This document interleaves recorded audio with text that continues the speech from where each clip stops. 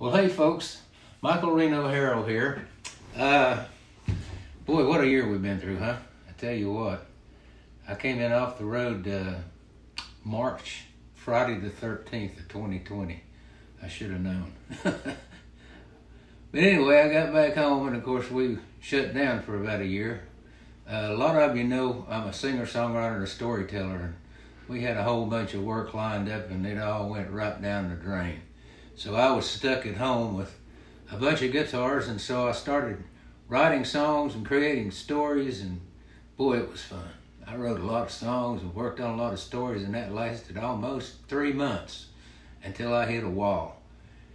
And I couldn't think of anything at all to write about anymore. Now, I'm going to take you back a little ways right here. In the second grade, in Mrs. Van Pelt's class, somewhere about 1956, I was sitting next to a new friend, a old boy named Ronnie Hamilton, and Ronnie was drawing a picture of a World War II airplane, and I thought, boy, I'd like to try that. So I did. And quite frankly, mine looked a whole lot better than his. And as a matter of fact, the teacher walked back and saw it. She said the same thing. And I thought, maybe I can do this. So over the years, I drew this and drew that. And uh, those of you who are familiar with my work probably have seen some of my drawings on my CD covers and that sort of thing. Uh, I was an art director for a couple of different sign companies over the years and did sketches for them and that, but I never really got serious about drawing until I hit that wall uh, in 2020. And I thought, well, I'll try to draw something. So in my pocket, I had Stover Mason's old pocket knife, his old double X case that he had given me many years before, and I thought, I'll do a drawing of that. And I did. And I was happy with it, and I put it on Facebook, and somebody said, Is that for sale? And I thought, Well, I guess it could be.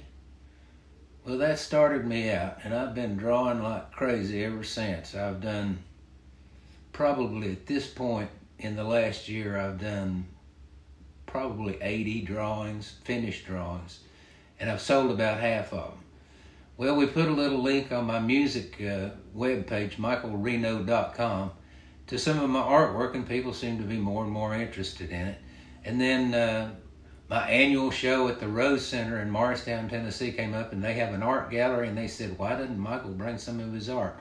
Sure, how many would he, should he bring? Between 30 and 40 framed pieces. So I went to work framing a whole lot of art. And it turns out that uh, there's about as much interest in that now as there is in my music or storytelling. So we've opened a brand new web page uh, you can find it at michaelrenoart.com. So we'd love for you to go over there and visit and sort of see what we're up to. We'd uh, we'd like to see you folks out there playing music, and uh, if you're art fans, we'd like to see you at a show somewhere. But at any rate, don't forget michaelrenoart.com. Just up, and we uh, hope to see you over there. Thanks.